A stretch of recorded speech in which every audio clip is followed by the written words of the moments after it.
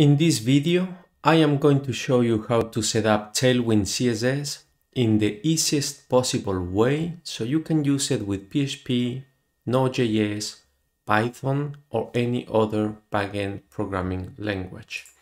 The instructions are going to be put in the video description so I will be following each line at a time and tell you what they do.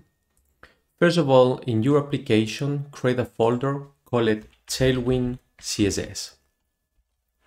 Move to that folder from the terminal. So I'm going to do cd tailwind css to be on that folder. At the moment, I am already there.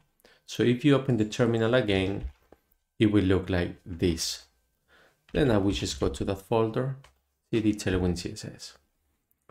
I'm going to copy the first command and paste it and run it. It will take a few seconds to download all the needed modules. And you will see that once that's done, inside the Tailwind CSS folder, you will get this created for you automatically.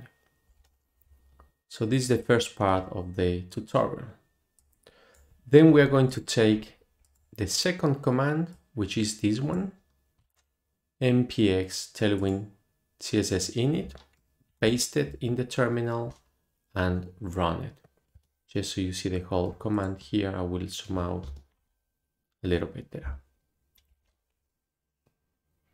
This command, once it's run, it will create this file called tailwind config.js.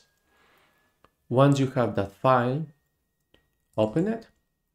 And right here is where you need to add two new keys actually one new key called mode. And the mode is going to be JIT for just in time.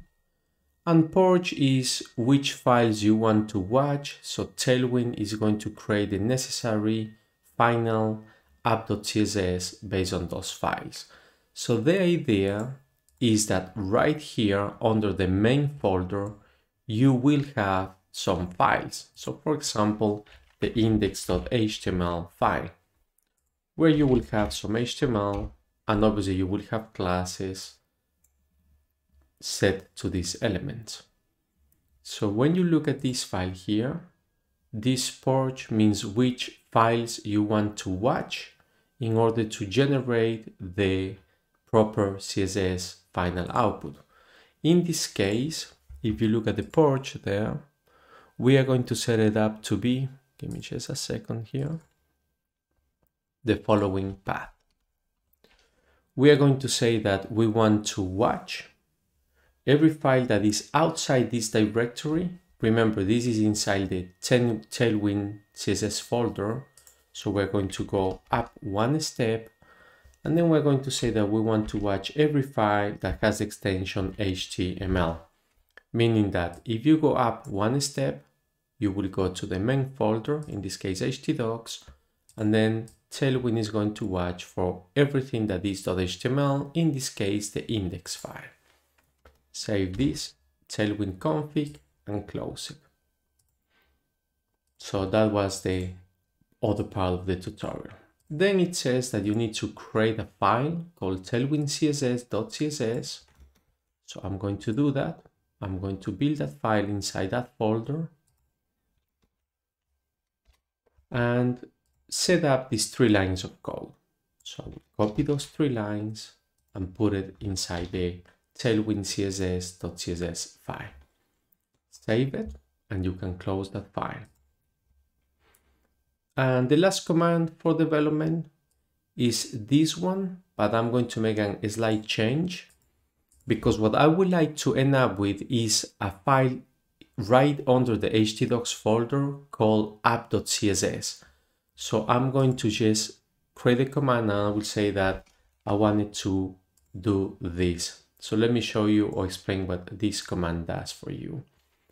It says that when we run it, the tailwind CSS is going to look at the tailwind.css, which is this one here. Actually, we call it tailwind CSS .css.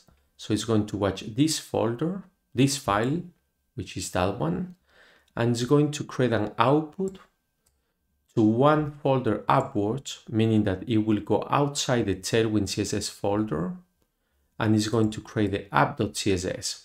And this watch flag dash dash watch means that if there are any changes on this file, which is this one there, or if there are any changes on any of these purge files, then it will create, it will generate a new app.css, this one there.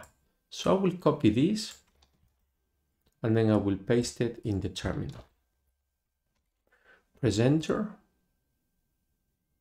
The first time it takes a couple of seconds and you have the app.css built there.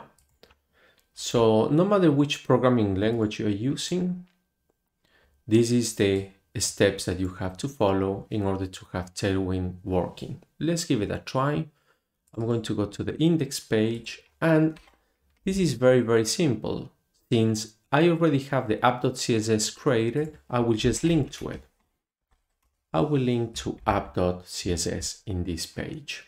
Save it. And I'm going to open it. I'm using PHP, actually I'm using an Apache server here so I can just point to localhost from my browser.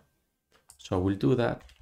If this was Node.js or Python, the principle applies to any system you're running.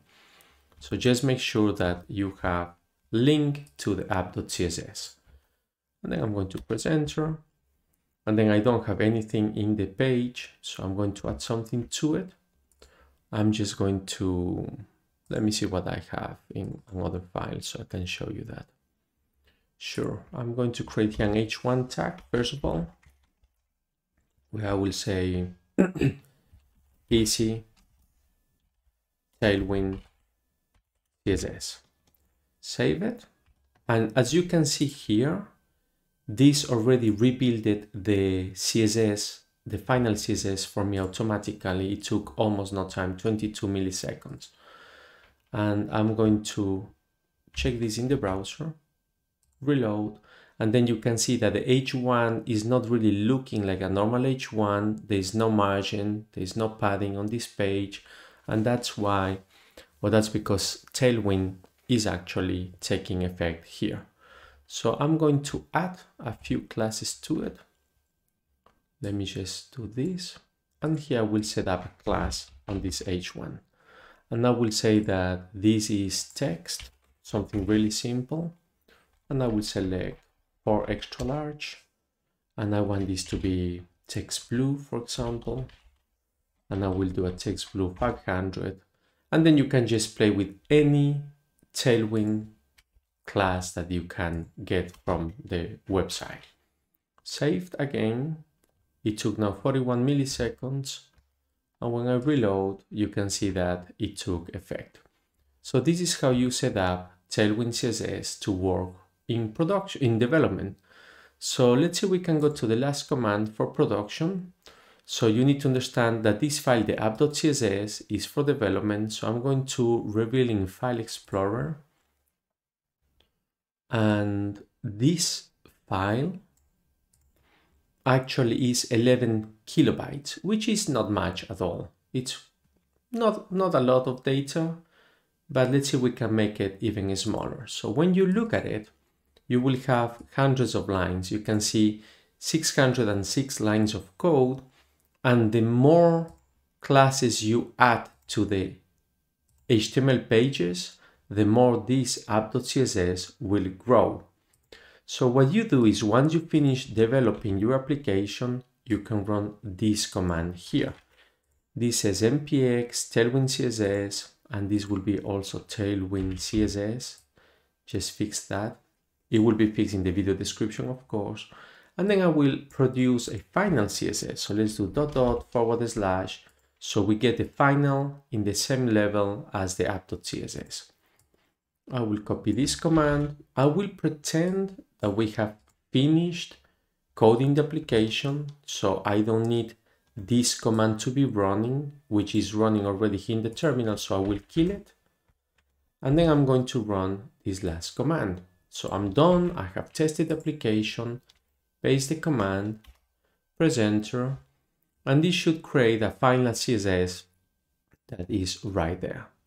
So if we look at this final CSS, you can see that this is minified. It's just one huge line. I'm not going to scroll all the way to the right so I don't make you dizzy. But if I look at the size of this file, this is only three kilobytes. So now you have a professional running system set up with, with Tailwind where you have the development CSS and the final CSS. So if you want to just go and in the index page point to the final CSS, thing instead of doing app, you will do final, and then you can deploy to the server of your choice. I hope you enjoyed the video. Thank you for watching it.